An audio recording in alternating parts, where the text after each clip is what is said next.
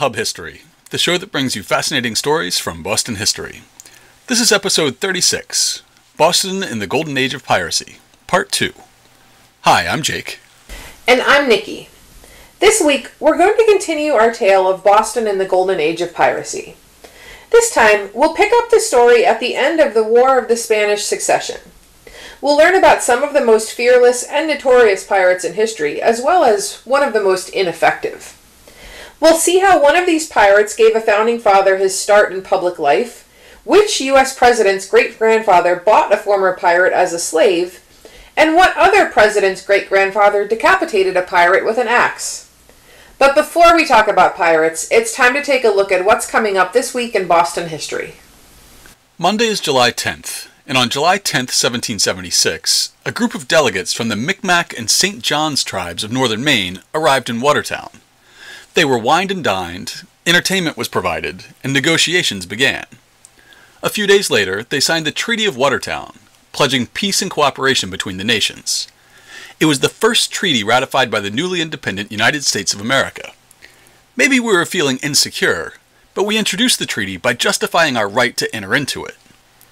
Whereas the United States of America and General Congress assembled have in the name and by the authority of the good people of these colonies solemnly published and declared that these united colonies are, and of right ought to be, free and independent states, that they are absolved from all allegiance to the British Crown, and that all political connection between them and the state of Great Britain is and ought to be dissolved, and that as free and independent states they have full power to levy war, conclude peace, contract alliances, establish commerce, and to do all the other acts and things which independent states may of right do.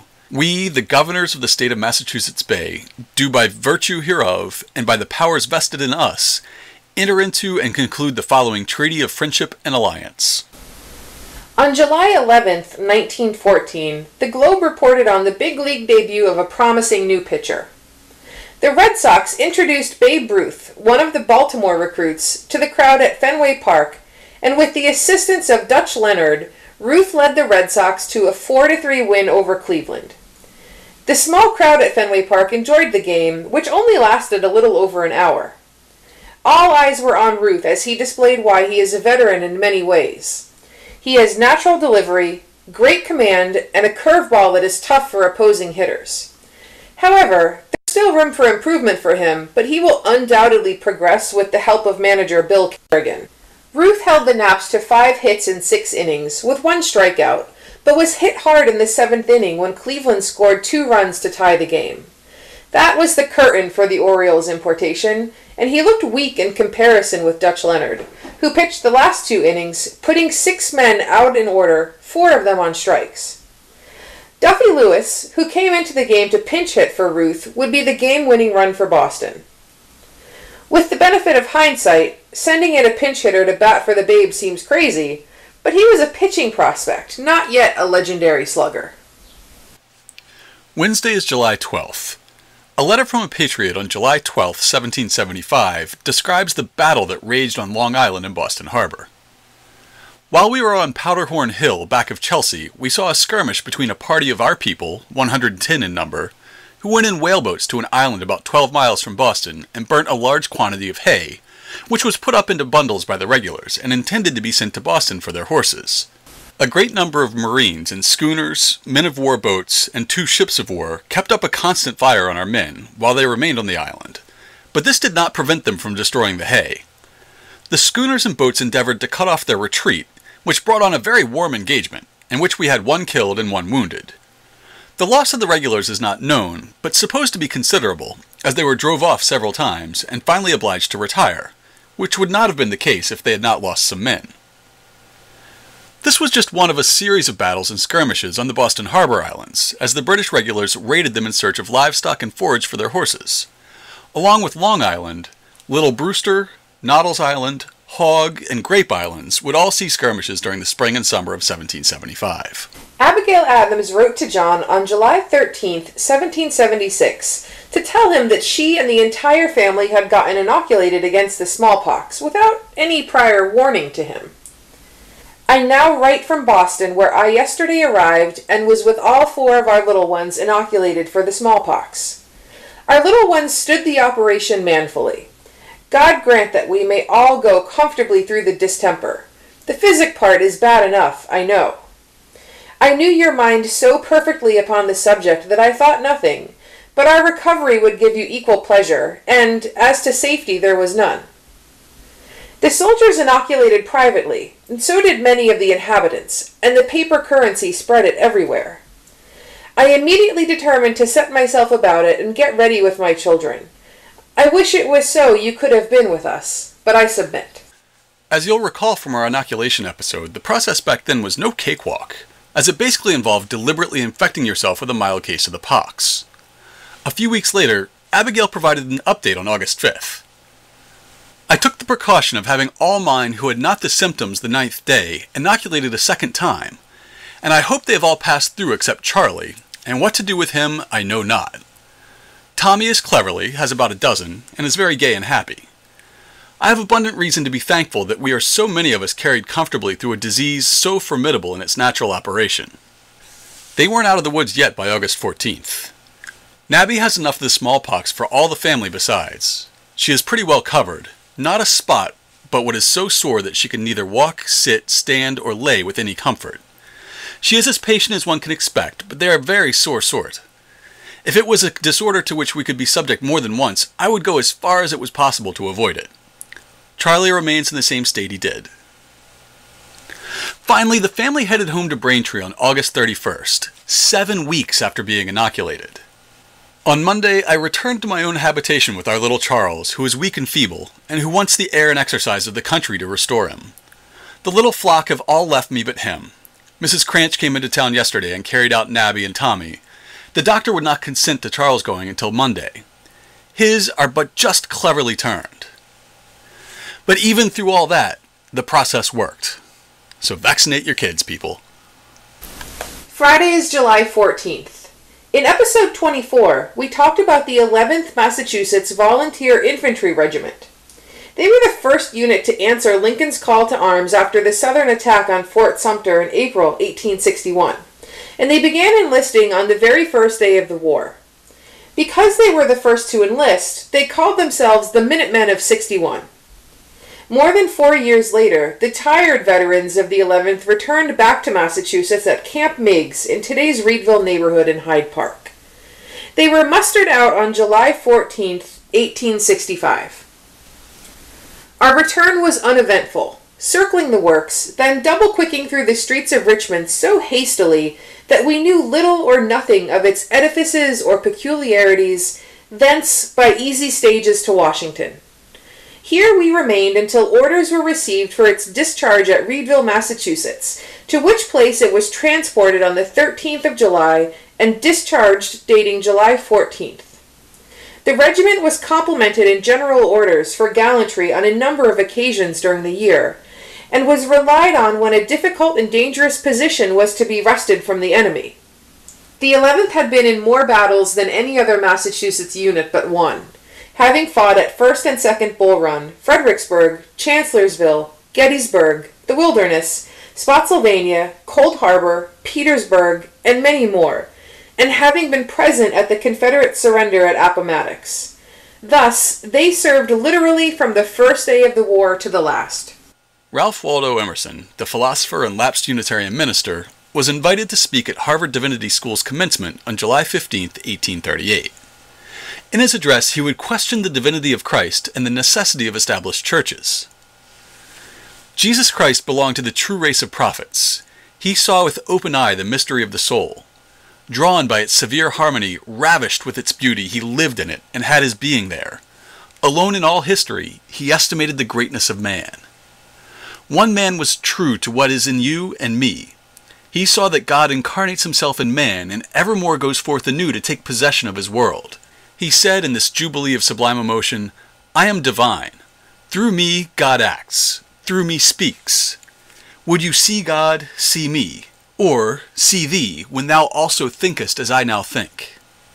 But what a distortion did his doctrine and memory suffer in the same, in the next, and in the following ages!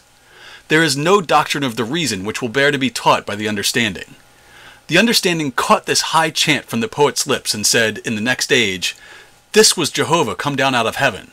I will kill you if you say he was a man. The idioms of his language and the figures of his rhetoric have usurped the place of his truth, and churches are not built on his principles, but on his tropes. Christianity became a mythos, as the poetic teaching of Greece and Egypt before. He spoke of miracles, for he felt that man's life was a miracle, and all that man doth, and he knew that this daily miracle shines as the character ascends. But the word miracle, as pronounced by Christian churches, gives a false impression. It is a monster. It is not one with the blowing clover and the falling rain. Unitarian ministers around New England would write rebuttals, but Emerson's transcendentalism enjoyed increasing influence in the church and in the region through most of the 19th century. Finally, Sunday is July 16th, and on July 16th, 1812, the USS Constitution began the chase and battle that would become one of its most famous engagements. As one of her seamen would later note, you have no doubt heard of the frigate's chase off New York by the English squadron, and the truly able manner with which she was maneuvered for 70 hours. She had just been refitted and was cruising off the coast of New Jersey under the command of Captain Isaac Hull. When a lookout spotted sails, Hull at first thought they might belong to a friendly American vessel. However, he quickly realized that he was looking at a strong British squadron of five ships, one of which had been captured from the Americans just the day before. Sometimes discretion is the better part of valor, and Captain Hull realized that he was going to have to make a break for it. Hull ordered the crew of the Constitution to make ready to sail, and they hoisted every piece of canvas on board. The Constitution quickly put some distance between itself and the pursuing British, but in the wee hours of the next morning, the wind died. A slow speed chase ensued that would make O.J. Simpson's white Bronco look like child's play. With both the Constitution and the pursuing British ships becalmed just out of cannon shot from one another, Captain Hull came up with a plan. He ordered the men to lower the boats, and they began rowing, towing the Constitution behind them on heavy cables. The ship began to move and to pull away from the British vessels excruciatingly slowly. Before long, the British realized what was happening and began to row and tow their ships as well. The exhausting chase stretched out through the afternoon, when the breeze finally picked up again. The Constitution, with fresh sails and a clean hull, was able to break away from its pursuers slightly before the calm fell again.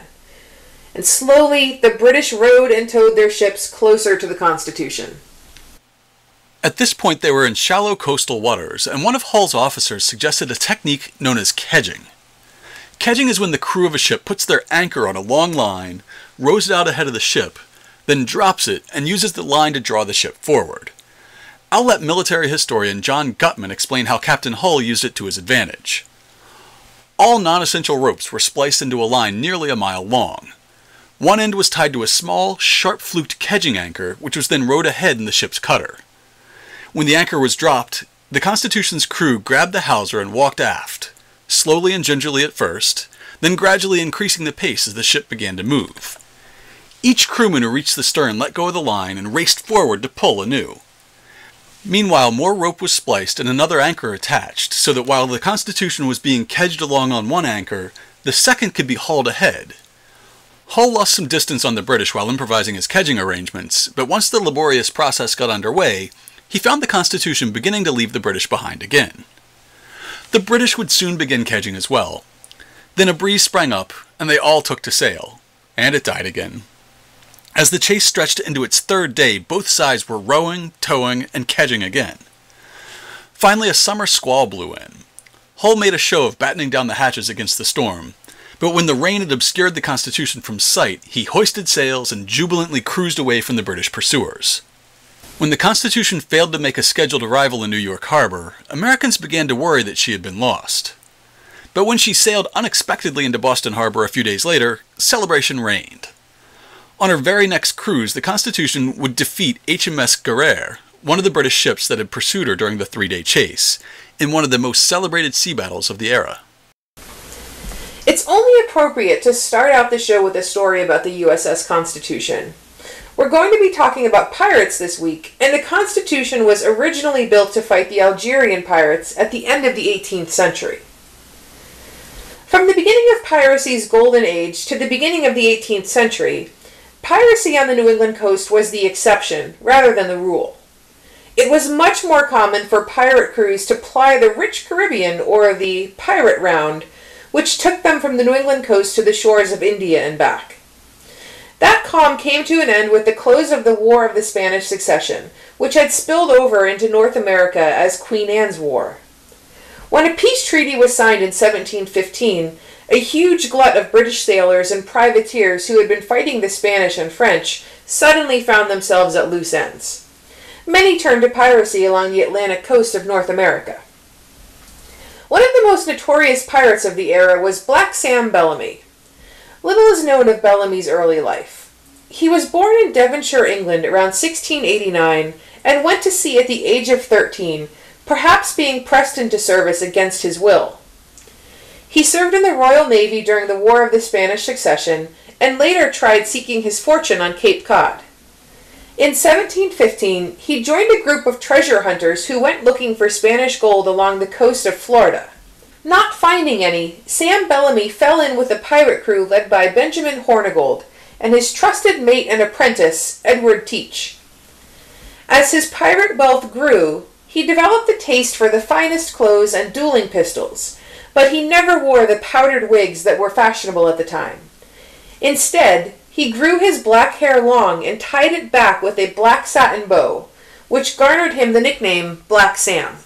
After about a year under Hornigold, Black Sam and the crew were frustrated that they were forbidden from attacking ships sailing under the British flag.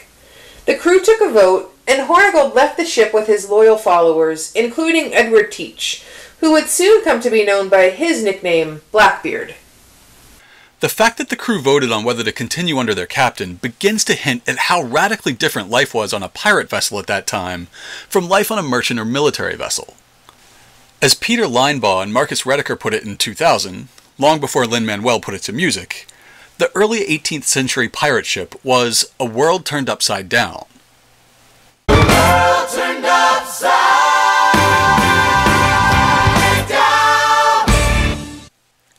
Made so by the Articles of Agreement that established the rules and customs of the pirates' social order, hierarchy from below. Pirates distributed justice, elected officers, divided loot equally, and established a different discipline. They limited the authority of the captain, resisted many of the practices of the capitalist merchant shipping industry, and maintained a multicultural, multiracial, multinational social order. They sought to prove that ships did not have to be run in the brutal and oppressive ways of the merchant service and the Royal Navy. The pirate ship was democratic in an undemocratic age. The pirates allowed their captain unquestioned authority in chase and battle, but otherwise insisted that he be governed by a majority. As one observer noted, they permit him to be captain on condition that they may be captain over him. Sam Bellamy and the rest of the pirates we'll meet in this episode lived by this code. They were bound to each other by a ship's articles, the contract they would enter into together and they were radically democratic in an age of strict hierarchies. Another author explained the temptation of this life as the radical, doomed sphere of resistance pirates offered to the enormous cruelty of the developing Atlantic economy, grinding exploitation of white sailors in the service of the black slave trade under the iron hand of the British Empire. Bellamy's crew put their faith and their votes in him, and for a while he steered them true. In the spring of 1717, Bellamy was sailing aboard the Marianne in the Windward Passage between Hispaniola and Cuba when he saw what would become one of the most famous pirate ships in history. The Whydah was a newly built slave ship on its mated voyage in the Triangle trade. Having delivered a cargo of at least 312 enslaved Africans to the plantations in the West Indies, it was now loaded with gold, silver, indigo, ivory, sugar, spices, and other trade goods bound back to Africa. She was a large, fast, heavily armed ship, and Bellamy wanted her from the moment he first saw her. After a three day chase, the captain of the Whydah surrendered the moment the first shot was fired. Sam Bellamy gave the vanquished captain of the Whydah a sloop in return for the grand vessel, and a quantity of gold to compensate him for his trouble. For acts like this, the crew sometimes referred to Black Sam by another nickname, Robin Hood of the Sea. In seeking a ship captured from another captain, Bellamy let his true feelings about the rich be known. Damn them for a pack of crafty rascals, and you who serve them, for a parcel of hen hearted numbskulls. They vilify us, the scoundrels do, when there is only this difference. They rob the poor under the cover of law, and we plunder the rich under the protection of our own courage. Now, Sam Bellamy found himself at the helm of one of the finest pirate ships to ply the seas. He had a rich treasure, 28 guns, and a 150 man crew. His original ship, the Marianne, was captained by a trusted lieutenant, and together they rampaged up the east coast of North America. In just over two months, they captured 53 ships, amassing the most valuable pirate booty in English history. As they entered New England waters, the crew of the Marianne voted to steer towards Rhode Island, where some of the members had family. Black Sam and the Whydah continued north around Cape Cod. Unfortunately, they ran straight into a powerful nor'easter. On April 26, 1717, gale force winds drove the Whydah into a sandbar near Wellfleet. The mainmast blew away in the storm, and the powerful surf soon capsized the ship. Four and a half tons of gold went down to the sandy bottom, along with 144 members of the crew. There were at least 60 cannons on board, and as the storm tossed them around the ship, they quickly smashed it to splinters. In the morning, the people of Wellfleet discovered and buried 102 bodies on their beach. They found huge quantities of timbers and other wreckage, but the vast treasure was never recovered. They did find two survivors from the crew a Welshman named Thomas Davis and a man named John Julian. Julian is sometimes reported to be a Native American from one of the Cape Cod tribes, and sometimes a member of the Mosquito tribes of Central America. The two survivors from the Whydah were imprisoned in Boston, along with seven members of the Marianne's crew who'd been captured in Rhode Island. A court found that Bellamy had forced two of the men into piracy, and they were freed. In October of 1717, six of them were tried in an admiralty court in Boston and sentenced to death. To give you an idea of the international flavor aboard a pirate ship, the six who were executed were a Jamaican, two Dutchmen, a Swede, a Frenchman, and a Dutch New Yorker. They were hanged at Charlestown on November 15, 1717. That leaves one survivor. As a Native American, John Julian had few rights under English law. As a result, he didn't stand trial. Instead, the province sold him into slavery. He was purchased by John Quincy, the grandfather of Abigail Smith Adams, and namesake of both John Quincy Adams and the town of Quincy. If you thought that a former bloodthirsty pirate would become a docile slave, you'd be wrong. Quincy reported that he was unruly and sold him to another master. Julian made several attempts to escape, and in one of these he killed a bounty hunter. For the murder of the bounty hunter, John Julian was hanged on March 22, 1733. A week later, the Boston Newsletter reported that his body had been given to medical students for dissection, and that his skeleton would be preserved as a specimen. Thus was the fate of the last survivor of Black Sam Bellamy's pirate crew. Now that we've heard how one president's great grandfather enslaved a pirate, let's hear how another president's great grandfather killed one. John Phillips started his seagoing career as a ship's carpenter until his ship was captured by pirates in 1721. When the pirates learned that he was a skilled carpenter, he was forced into a life of piracy on pain of death, but he soon found that he liked that life. By 1723, Phillips had stolen a schooner and set out with a crew of his own in search of adventure. One of the things that makes Captain Phillips memorable is that we have copies of his articles, the written agreement that his crew agreed to be bound by. It is one of only four sets of articles that survives from the golden age of piracy. Number one, every man shall obey civil command. The captain shall have one full share and a half of all prizes. The master, carpenter, boatswain, and gunner shall have one share and a quarter. Number two, if any man shall offer to run away or keep any secret from the company, he shall be marooned with one bottle of powder, one bottle of water, one small arm, and a shot. Number three, if any man shall steal anything in the company or game to the value of a piece of eight, he shall be marooned or shot. Number four, if at any time we shall meet another mariner, that man who shall sign his articles without the consent of our company shall suffer such punishment as the captain and company shall think fit. Number 5. That man that shall strike another whilst these articles are in force shall receive Moses' law, that is, forty stripes lacking one on the bare back. Number 6. That man that shall snap his arms, or smoke tobacco in the hold, without a cap to his pipe, or carry a candle lighted without a lantern, shall suffer the same punishment as in the former article. Number 7. That man who shall not keep his arms clean, fit for an engagement, or neglect his business, shall be cut off from his share, and suffer such other punishment as the captain and the company shall think fit.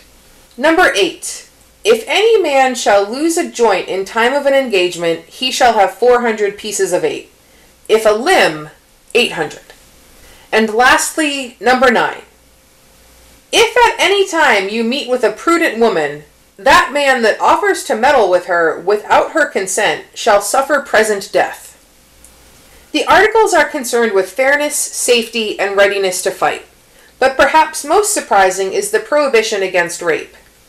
On an earlier voyage, Captain Phillips had witnessed a gang rape and murder that had shocked him to the core, and he would not tolerate a similar crime from his crew. With an agreement in place, Phillips and his crew wandered around the Caribbean, taking what prizes they could find, before heading to the waters off Newfoundland to prey on fishermen. They slowly built the crew with volunteers from the ships they captured, and sometimes with less willing sailors, who were forced into piracy at gunpoint and whipped mercilessly. One such unwilling recruit was John Fillmore of Ipswich. He was captured on a fishing vessel on September 5, 1723. Fillmore was unhappy as a pirate. He asked several times to be set free, even if it meant marooning him on a deserted island. And he even attempted to escape one time, and narrowly avoided being executed by an enraged Captain Phillips. But Fillmore would have the last laugh. The town records of Boston for 1724 record that on the 3rd of May the town was thrown into much surprise by the arrival of an unknown vessel in the harbor, and it was soon found that it had been captured from pirates. A few young men who, having been forced into the service of the dreaded sea rover Captain John Phillips, seizing an opportunity, killed him and his principal men somewhere about the banks of Newfoundland, and sailing hence, succeeded in reaching Boston in safety with their prize, and six of the pirates as prisoners. The crucial moment had come a few weeks earlier when Phillips drafted some more sailors into his crew against their will. Together with John Fillmore, they planned to win back their freedom. Fillmore and his co-conspirators found an excuse to have some carpentry work half done on the deck, with several tools lying around close at hand.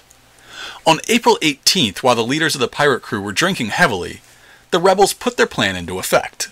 Fillmore's own memoir says, The captain and boatswain stood by the mainmast, talking upon some matters, and I stood partly behind them, whirling the axe around with my foot, till my knees fairly smote together.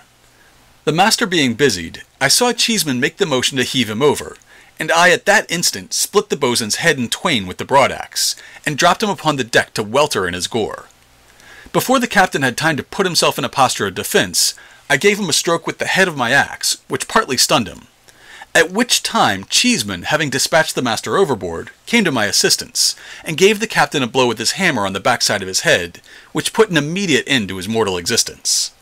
The quartermaster, hearing the bustle, came running out of the cabin with his hand up to strike Cheeseman with his hammer, and probably would have killed him had not the Indian catched him by his elbow as he was bringing the hammer down, and there held him, until I came up and gave him a blow on the backside of his head, cutting his wig and neck almost off, so that his head hung down before him. After Fillmore split the heads of Phillips and another pirate with his axe, he decapitated Phillips and put his head into a pickling jar. With this evidence that they'd been held against their will, the mutineers sailed for Boston and freedom, with the remainder of the pirate crew as their prisoners. The surviving pirates were hanged in Boston on June 2, 1724. John Fillmore would live until 1777, starting a family. Many years later, his great grandson, Millard Fillmore, would be elected President of the United States. If the cruel shipmaster John Phillips had a reputation for leniency because of the prohibition against rape on his ship, Captain Ned Low is remembered as one of the most brutal pirate captains in history. By all accounts, he absolutely reveled in torturing his victims. Edward Low was born in London and grew up running wild in the streets. He earned a reputation as a pickpocket and gambler, while his younger brother Richard became a notorious thief. After Richard was hanged in his early teens, Ned decided to seek his fortune in the New World. He headed to New England around 1710 and after a few years settled in Boston. After his wife died in childbirth, Ned abandoned his young daughter and took to the sea. When he felt that the captain of the lumber sloop he was working on had mistreated him, Low and a handful of others stole a ship off the coast of Rhode Island, saying that they would go in her, make a black flag, and declare war against all the world. Sailing to the Cayman Islands, the small crew fell in with the pirate captain George Lowther and sailed under him for a few months. Low distinguished himself, and after the combined crew captured a brigantine named Rebecca on May 28, 1722, Lowther made Low its captain, with a crew of 44. Much like John Phillips, Ned Low created a set of articles to govern his ship, and like Phillips, Low's articles survive to this day. They're quite similar. Number one, the captain is to have two full shares. The quartermaster is to have one share and a half. The doctor, mate, gunner, and bosun one share and one quarter. Number two, he that shall be found guilty of taking up any unlawful weapon on board of the privateer, or any other prize by us taken, so as to strike or abuse one another in any regard, shall suffer what punishment the captain and the majority of the company shall see fit. Number three, he that shall be found guilty of cowardice in the time of engagement shall suffer what punishment the captain and the majority of the company shall think fit. Number four. If any gold, jewels, silver, etc., be found on board of any prize or prizes to the value of a piece of eight, and the finder do not deliver it to the quartermaster in the space of twenty four hours, he shall suffer what punishment the captain and the majority of the company shall see fit. Number five, he that is found guilty of gaming or defrauding one another to the value of a royal of plate shall suffer what punishment the captain and the majority of the company shall think fit. Number six, he that shall have the misfortune to lose a limb in the time of engagement shall have the sum of six hundred pieces of eight, and remain aboard as long as he shall think fit. Number seven, good quarters to be given when craved. Number 8. He that sees a sail first shall have the best pistol or small arm aboard her. Number 9. He that shall be guilty of drunkenness in time of engagement shall suffer what punishment the captain and majority of the company shall think fit. Number 10. No snapping of guns in the hold. Over the next year, Low and his crew divided their time between the rich shipping lanes in the Caribbean and the rich fishing grounds of the Grand Banks. They captured over a hundred vessels, trading up from one ship to the next, and slowly building a pirate fleet. It was during this period that Ned Low earned his reputation for extreme cruelty. Despite his self-imposed rule to offer a prisoner quarter, that is, to accept surrender instead of death, anyone who refused to comply with the captain was fair game. In one early engagement, a news account of the Times said that on Low's orders the crew cut and whipped some, and others they burnt with matches between their fingers to the bone to make them confess where their money was. He only became more extreme over time. The general history of the pirates says that after taking two whaleboats near Rhode Island, he caused one of the master's bodies to be ripped up and his entrails to be taken out, and cut off the ears of the other, and made him eat them himself with pepper and salt. Upon hearing that a Portuguese captain had thrown his gold into the sea rather than handing it over, Low ordered the captain's lips to be cut off, which he broiled before his face, and afterwards murdered him and all the crew, being 32 persons. It was after the capture and torture near Rhode Island that Ned Low came to the attention of the authorities in Boston, who prepared to send a squadron out to pursue him. The New England Courant, a Boston newspaper published by James Franklin, reported on the developments in the June 11, 1722 edition. On Monday morning last, His Honor the Governor had advice by a whaleboat from Block Island that there was at that island a pirate brigantine. Whereupon the drums were ordered immediately to beat about town for volunteers to go in quest of the pirates, and by three of the clock the same day there were two large sloops under sail, equipped and manned. We are advised from Boston that the government of Massachusetts are fitting out a ship to go after the pirates, to be commanded by Governor Peter Papillon, and 'tis thought he will sail sometime this month if wind and weather permit. The above pirate brigantine is commanded by one Low, who lately belonged to Boston. The brigantine the pirates are now in belonged to Boston, and was bound there from St. Christopher's when she was taken by a pirate sloop of about 10 guns and 90 men. Seems like an innocent enough reporting of the news, right? Well, the provincial authorities didn't think so. They thought that the paragraph about the provincial government outfitting a ship made it sound as though they didn't take the pirate threat seriously. The Massachusetts House of Representatives passed a resolve against the Courant and James Franklin the next week. The board having had consideration of a paragraph in a paper called the New England Courant, published Monday last, relating to the fitting out of a ship here to proceed against the pirates, and having examined James Franklin, printer, he acknowledged himself to be publisher thereof. In finding the paragraph to be grounded on a letter pretended by him to be received from Rhode Island, resolved that the said paragraph is a high affront to this government. Resolved that the sheriff of the county of Suffolk do forthwith commit to the jail in Boston the body of James Franklin Printer, for the gross affront offered to this government in his Courant of Monday last, there to remain during this session. With that, James Franklin was thrown into prison, and day-to-day management of the newspaper was turned over to his apprentice and younger brother Ben. In his autobiography, Benjamin Franklin recalled how he got his start in newspaper publishing, the profession that would eventually bring him to national prominence, indirectly through Ned Low's piracy. One of the pieces in our newspaper on some political point, which I have now forgotten, gave offense to the Assembly. James was taken up, censured, and imprisoned for a month by the Speaker's warrant.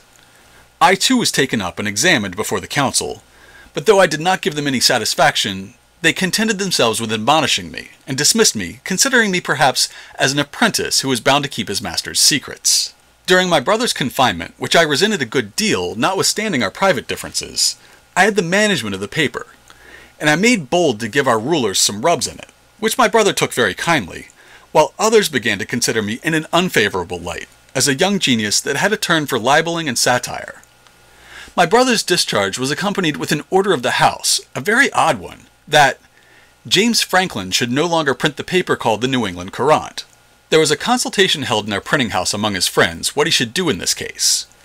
Some proposed to evade the order by changing the name of the paper, but my brother seeing inconveniences in that, it was finally concluded on as a better way to let it be printed for the future under the name of Benjamin Franklin. The cruise against Ned Low out of Boston Harbor eventually involved a hundred sailors, and they chased Low along the coast of Nova Scotia, but never caught him. Nevertheless, the pirate captain's luck had turned. After a series of unsuccessful engagements with the Royal Navy, Low's fleet began to dwindle. In late 1723, his flagship, Merry Christmas, found itself alone. In heading for Brazil, it sailed straight out of the history books. Ned Low was never heard from again. Some accounts say that his ship sank in a storm, while others say that he was marooned by his crew or even hanged by the French. The last great pirate of the Golden Age enjoyed a meteoric rise and fall in a piratical career that spanned just one month. An experienced seaman named William Fly enlisted as a boatswain on a ship named the Elizabeth in Jamaica in the spring of 1726. But early in the cruise, he and the crew became resentful of their bad usage at the hands of the captain. In the wee hours of the night on May 27th, the crew mutinied, dragging the captain and first mates from their beds and throwing them into the sea to drown. When the captain grabbed onto the mainsail to try and save himself, the ship's cooper took an axe and chopped the offending hand off. The crew renamed the ship Fame's Revenge, elected William Fly captain, and began sailing up the east coast of North America. They stitched together a Jolly Roger and tried to emulate the amazing blitz up the east coast that Black Sam Bellamy had enjoyed. However, where Bellamy had captured 53 ships by the time he made it to New England waters, Fly and Fame's Revenge only managed to take five ships. The first two he had captured off the coast of North Carolina, burning one of them and convincing several sailors to join his crew. For some reason, he took some likely seamen prisoner when they refused to sign his articles and join the crew, including William Atkinson, who was forced to act as Fly's pilot. Next, they attacked a ship near Virginia, but it turned out to be full of Scots Irish immigrants bound for Pennsylvania, rather than the rich treasure that they had hoped for. Moving into New England waters, they looted a whaler off Newfoundland and sailed for the fishing fleet around Brown's Bank, east of Cape Ann. On June 29th, Fly's crew attacked the James, the first fishing vessel they encountered. Then they divided their forces as more fishing boats came into view. The plan was to leave a skeleton crew on Fame's Revenge to attack the fleet head on, while the rest of the pirates boarded the captured James and attempted to flank the fleet. However, this move meant that Captain Fly and his pirates on the Fame's Revenge were now outnumbered by the forced men aboard, those who had been forced into service. While Captain Fly was distracted by the prospect of fresh captures, the unwilling pilot William Atkinson led a party of mutineers in stealing cutlasses and a brace of pistols from the pirate armory. Then they rushed Fly and his pirates, holding them at gunpoint and throwing them in irons just 33 days after they had turned pirate in the first place. With Atkinson at the helm, Fame's Revenge made good time in their voyage to Boston. On July 4, 1726, an Admiralty court met in Boston to sort out the fate of William Fly and his men. Atkinson and the mutineers were quickly cleared of all charges. A young cook was granted a pardon. Captain Fly and three of his crew were sentenced to hang. On July 12th, thousands of people gathered on Copp's Hill in the North End to watch the four pirates meet their fate. When it was William Fly's turn to mount the gallows, he trotted swiftly up the stairs, carrying a nosegay of sweet smelling flowers, and he smiled and waved at the crowds. Suddenly, Fly's smile turned to a frown as he saw the sloppy noose the novice executioner had tied. He rebuked the man for not understanding his trade. Taking the rope, Fly, with his own hands, rectified matters to render things more convenient and effectual. Having tied the noose with a sailor's confidence in knots, he placed the rope around his own neck. Asked for his last words, Fly chose to use his last breaths to issue a warning. Addressing the port city crowd, thick with ship captains and sailors, he proclaimed his final, fondest wish that all masters of vessels might take warning by the fate of the captain that he had murdered, and to pay sailors their wages when due, and to treat them better, saying that their barbarity to them made so many turn pirates. Pirate historian Marcus Rediker argues that the death of William Fly marked the end of the golden age of piracy. From the end of the War of the Spanish Succession to this point, there had been a shared set of traditions and practices among pirates, passed down in an unbroken chain through a succession of crews. By splintering, by sailing in consorts, or by other associations, roughly 3,600 pirates, about 90% of all those active between 1716 and 1726, fitted into two main lines of genealogical descent. Captain Benjamin Hornigold and the pirate rendezvous in the Bahamas stood at the origin of an intricate lineage that ended with the hanging of John Phillips' crew in June of 1724. The second line, spawned in the chance meeting of the lately mutinous crews of George Lowther and Edward Low in 1722, culminated in the executions of William Fly and his men in July 1726.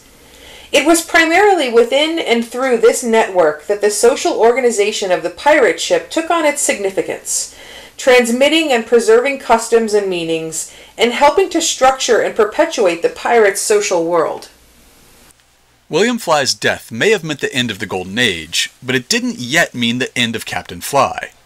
The next edition of the Boston Newsletter reports that their bodies were carried in a boat to a small island called Nix's Mate, about two leagues from the town, where the above said fly was hung up in irons as a spectacle for the warning of others, especially seafaring men. The other two were buried there. Thus, Fly was gibbeted, suffering the same fate on Boston Harbor that Captain Kidd suffered in London.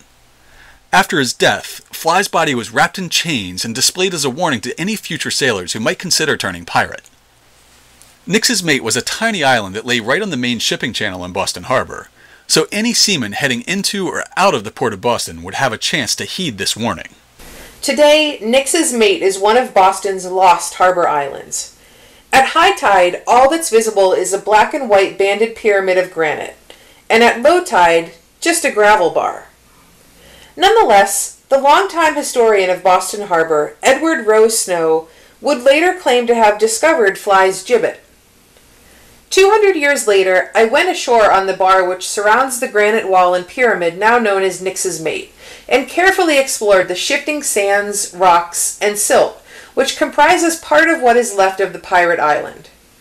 After several days of searching and digging, I located what probably was the spot where Fly was gibbeted, for a fragment of the iron band and several links of chain were uncovered. This was all that could be found which recalled in any way the nefarious and villainous Captain William Fly. To learn more about pirates on Boston Harbor, check out this week's show notes at hubhistory.com slash 036. We'll have photos showing what Nix's mate looks like today, as well as a link to a National Geographic article describing how divers found the wreck of Black Sam's ship, the Whydah, off Cape Cod. And we'll have a link to the museum where you can see artifacts recovered from the wreck, the only shipwreck to be recovered from piracy's golden age, and the richest pirate treasure ever found. And of course, we'll have links and sources for all of this week's historical anniversaries, including a YouTube video demonstrating how kedging works. If you want to get in touch with us, you can email us at podcast at hubhistory.com. We're at Hub History on Twitter, Facebook, and Instagram. Or you can go to hubhistory.com and click on the Contact Us link. And while you're on the site, hit the subscribe link and be sure that you never miss an episode. If you subscribe on Apple Podcasts, please write us a brief review. It's the best way to help others discover the show. That's all for now. We'll be back next week with an episode about organized crime in Boston, per the request of one of our listeners.